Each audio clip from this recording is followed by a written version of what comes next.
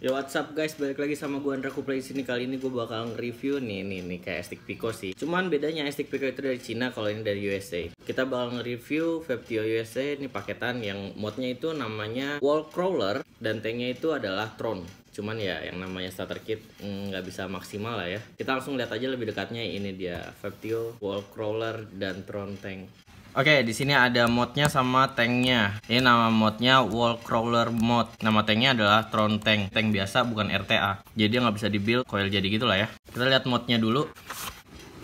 Kita langsung disuguhkan sama manual booknya. Ini user manual. Terus ada warranty card, certificate of inspection. Ini warranty card juga ya, jadi satu nih.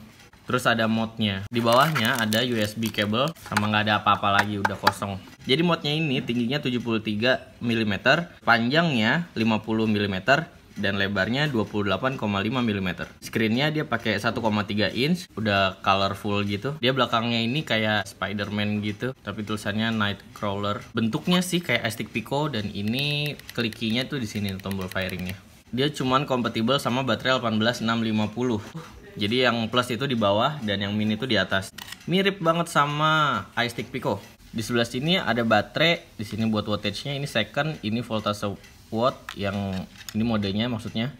Di sini voltnya, di sini ohmnya. Kita beralih ke tanknya. Aku nggak tahu ini tanknya itu paketan atau gimana. Cuman kalau di situs resminya paketan, cuman uh, dijualnya kayaknya kepisah. Gue nggak ngerti deh. Kita buka aja. Jadi peringatan nih harus 3 menit dulu didiemin kalau habis isi liquid. Terus ada user manual, ya warranty card juga lah ya. Terus gue dapat yang warna hitam nih, ornamennya warna gold gitu keren deh. Terus ada extra Pyrex glass gini, lebih dark gitu kayaknya. Di bawahnya ada goodies. Ini tuh o-ring sama drip tip. Wih, drip tipnya lucu. Drip tip 510 nih. Terus sama ada coil head. Airflow-nya ada di bawah sini, cuma 180. Bawahnya gini, Vaptio Tron. Nah, atasnya begini nih. Jadi dia ini anti split. Kalau misalnya lu masukin liquidnya ke sini, dia itu bakalan nih gue tunjukin nih. Dia bakalan tuh. Terus jadi kalau misalnya udah lu cabut, dia otomatis nutup sendiri atau ngunci. Terus lu pengen lu ke bawah-kebawain gitu, dia nggak bakalan bocor. Nah, ini ada mode TC atau CCW. CCW apaan? Gue nggak tahu. Hmm, CCW ini apaan lagi? Atau CCT? Atau bypass? Tuh ada sistem, smoke time, sleep time, inner resistant, language. Terus ada DEM juga, DEM 1. Oh ini lewat komputer. Ada back juga. Pakai mode CC CC what? Cloud chest what? Atau CC apa CC? CCT? Gue nggak tahu nih.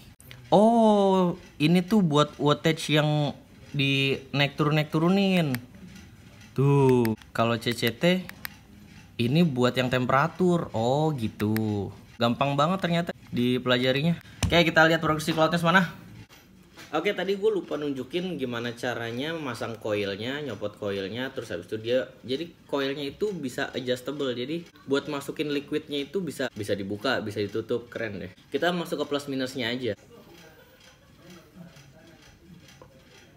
Hmm. Plusnya dulu, yang pertama dia ini keren banget. Layarnya ini udah lumayan lebar, udah full color, terus habis itu easy to use juga. Kalau tanknya dia enak banget, lock system gitu yang kalau misalnya di ini ini ini ada ada liquidnya nih ya.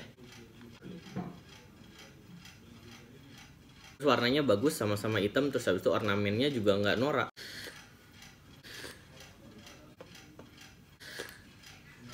Gue main di wattage biasa gue pakai yang soft ini 77 watt dan hasilnya lumayan ngebul kok buat daily enak. Dan gue yakin banget nih harganya murah banget bakalan jadi stick Pico killer. Minusnya itu nggak terlalu banyak cuman bentuknya kayak stick Pico jadi kelihatannya murah banget. Sama ada di tanknya tanknya itu karena dia pakai coil OCC atau coil jadi jadi dia nggak bisa diganti-ganti coilnya sesuai keinginan kita Paling segitu aja sih review singkat dari gue. Semoga video ini bermanfaat buat kalian. Oh iya rating. Rating itu dari 1 sampai 10 nih gue kasih nilai 8 buat starter kit.